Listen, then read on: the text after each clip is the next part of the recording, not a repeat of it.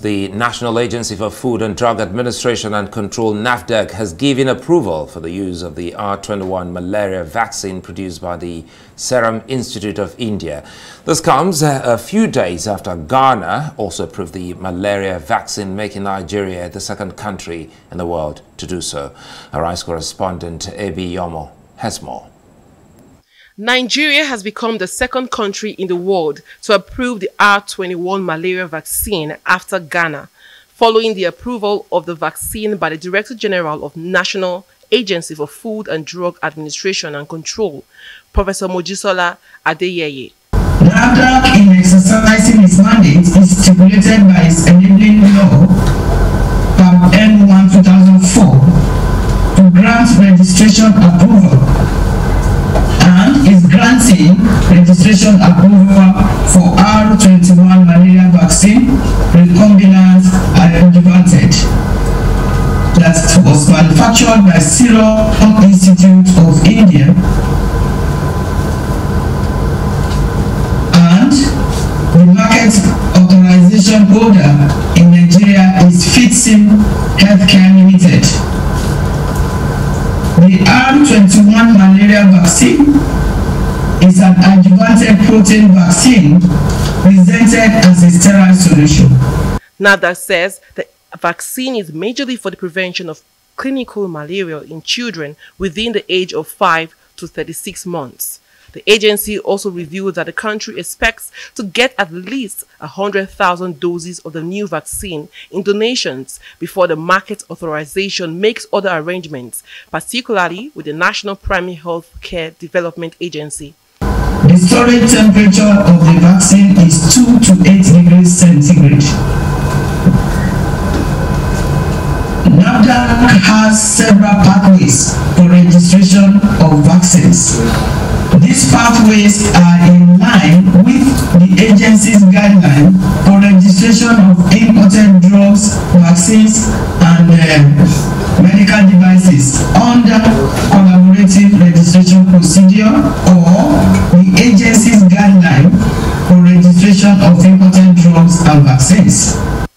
She restated NAFDAC's commitment to ensuring that only products that are safe of high quality and efficacy are made available for Nigerians.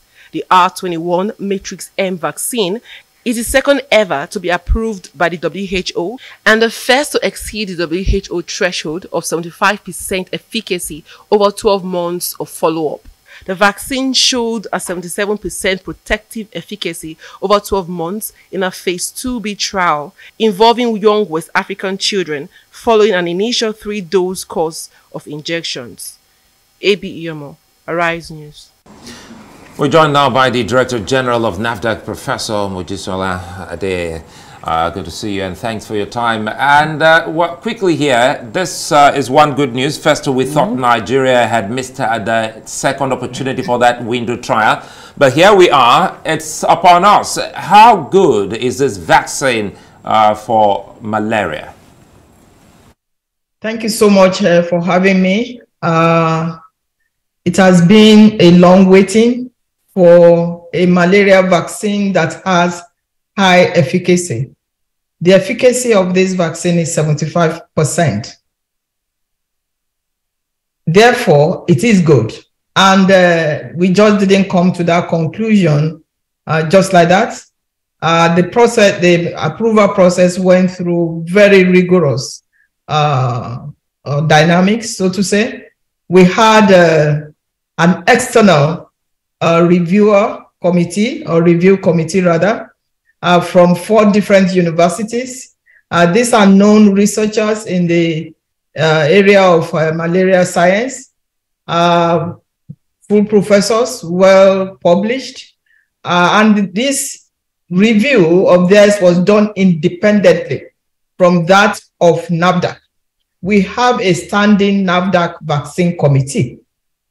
But because this vaccine is a new molecule, it is new. It has not been approved by any country aside from Ghana. Uh, we took our time to make sure that the review is very rigorous. And uh, the joint committee met last week, Friday, and uh, both are on the same page in terms of the adequacy of uh, the vaccine uh, for immunization of children uh, under uh, 36 months. Right. Okay. Now let's uh, even talk about the factors that were considered in approving uh, this malaria vaccine. I mean, you say it went through very uh, thorough uh, process. Uh, talk to us uh, about that and the you know, the temperature under which this uh, vaccine must be stored somewhere between 2 and 8 degrees Celsius. How challenging will it be for Nigeria with, you know, really hot weather here? Thank, thank you very much. That is just a, a refrigerator temperature. So it is not a, a, a big uh, challenge for us in the country. Uh, it is a refrigerator temperature and uh, we, it's going to do fine. Uh, we were able to manage COVID-19 vaccine. Uh, some of them were minus 60, minus 60 degrees Fahrenheit. So for this one, it's not a problem at all uh, in terms of the storage condition. Uh, the good thing about uh, us, meaning NAFDAC, approving this product is that we've learned a lot during the pandemic in terms of ensuring that the safety of the vaccine will be highly monitored. Our staff got trained very well primary health staff also got trained very well, along with our staff, by uh, the AU3S, African Union Smart Safety Surveillance. So we are very well prepared in terms of safety monitoring. One unique aspect of our regulatory activities that will also help is the ability to track and trace uh, this vaccine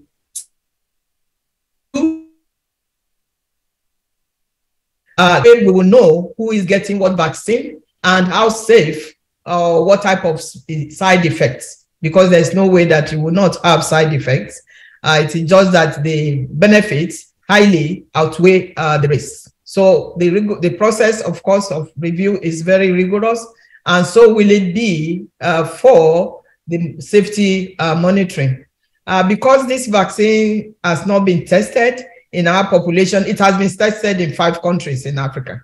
Uh, but it, because it has not been tested in our population, we're going to do uh, a clinical trial, what we call phase four uh, pharmacovigilance uh, cohort event. We're, we're, out of time here, Professor Adeyeye. Quickly, let me bring in this. Uh, how do you hope uh, to uh, fight the or address the challenge of vaccine hesitancy, especially in Nigeria, since after the 1996 uh, very unfortunate Pfizer vaccine trial?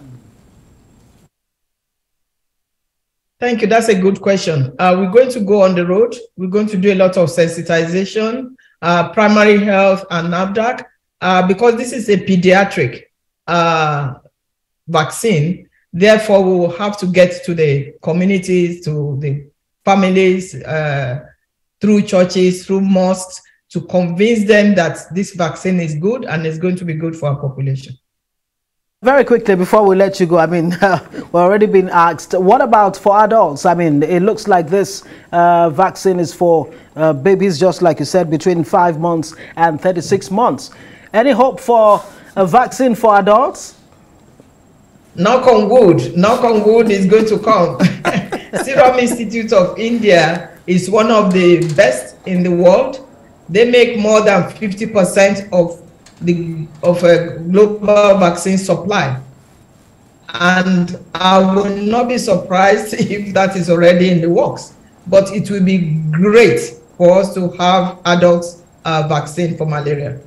Absolutely. Uh, thank you so much, the Director General of NAFDAC. Of course, Nigeria just approved the Oxford malaria vaccine. Mojisola Adeyeye, thank you so much for joining us on Newsnight.